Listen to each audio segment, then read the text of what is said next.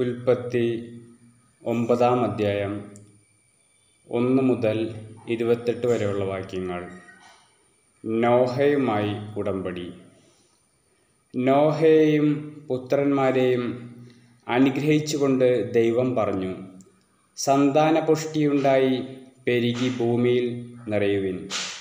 സകല ജീവികൾക്കും ഭൂമിയിലെ മൃഗങ്ങൾക്കും ആകാശത്തിലെ പക്ഷികൾക്കും മണ്ണിലെ ഇഴജന്തുക്കൾക്കും വെള്ളത്തിലെ മത്സ്യങ്ങൾക്കും നിങ്ങളെ ഭയമായിരിക്കും. അവയെല്ലാം ഞാൻ നിങ്ങളെ ഏൽപ്പിച്ചിരിക്കുന്നു. ചരിക്കുന്ന ജീവികളെല്ലാം നിങ്ങൾക്ക് ആഹാരമായി തീരും ഹരിതസസ്യങ്ങൾ നൽകിയതുപോലെ ഇവയും നിങ്ങൾക്ക് ഞാൻ തരുന്നു. എന്നാൽ ജീവനോട് കൂടിയ അതായത് രക്തത്തോടു കൂടിയ മാംസം ഭക്ഷിക്കരുത്. ജീവരക്തത്തിന് മനുഷ്യനോടും മൃഗത്തോടും ഞാൻ കണക്ക് ചോദിക്കും. ഓരോരുത്തരനോടും സഹോദരന്റെ ജീവന് ഞാൻ കണക്ക് ചോദിക്കും. മനുഷ്യരക്തം ചൊരിയുന്നവന്റെ രക്തം മനുഷ്യൻ തന്നെ ചൊരിയും. കാരണം എന്റെ ചായയിലാണ് ഞാൻ മനുഷ്യനെ സൃഷ്ടിച്ചത്. സന്താനപുഷ്ടിയുള്ളവരായി പെരുകി ഭൂമിയിൽ നിറയുവിൻ.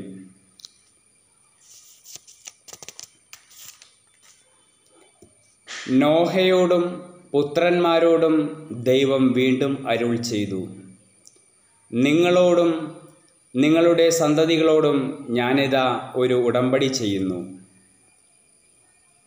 അതോടൊപ്പം നിന്റെ കൂടെ പെട്ടകത്തിൽ നിന്ന് പുറത്തു വന്ന ജീവനുള്ള സകലതിനോടും പക്ഷികൾ കന്നുകാലികൾ കാട്ടുജന്തുക്കൾ എന്നിവയോടും നിങ്ങളുമായുള്ള എന്റെ ഉടമ്പടി ഞാൻ ഉറപ്പിക്കുന്നു.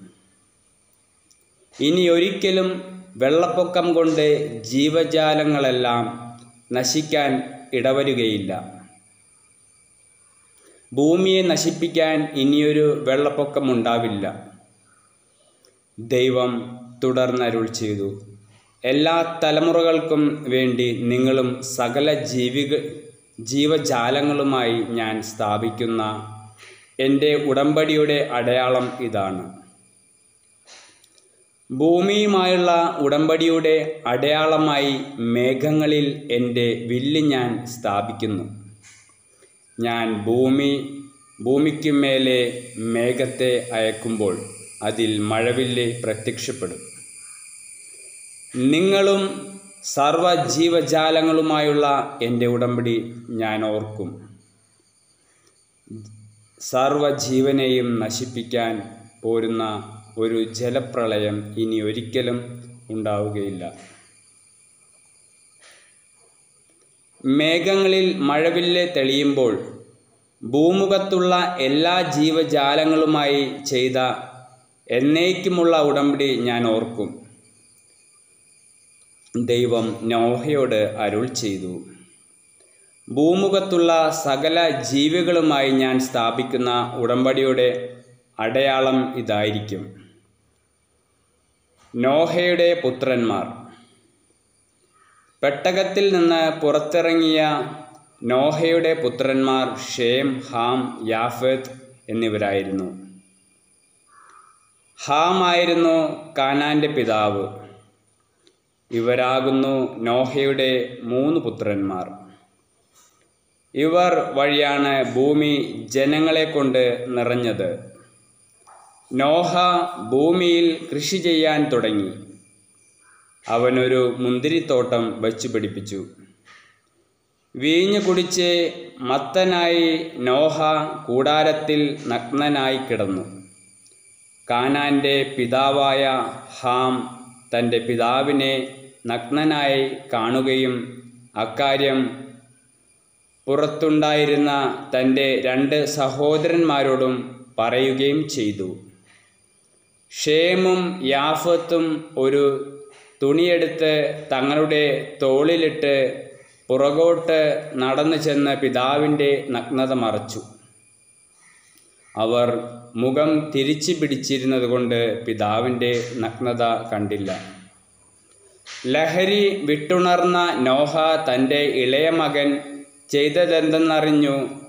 അവൻ പറഞ്ഞു കാനാൻ ശപിക്കപ്പെട്ടിട്ട്. അവൻ തന്റെ സഹോദരർക്ക് ഹീനമായ ദാസ്യവേല ചെയ്യുന്നവനായിത്തീരും. അവൻ തുടർന്ന് പറഞ്ഞു ഷേമിന്റെ കർത്താവായ ദൈവം വാഴ്ത്തപ്പെട്ടവനാകട്ടെ. കാനാൻ ഷേമിന്റെ ദാസനായിരിക്കട്ടെ. യാഫത്തിനെ ദൈവം പുഷ്ടിപ്പെടുത്തട്ടെ.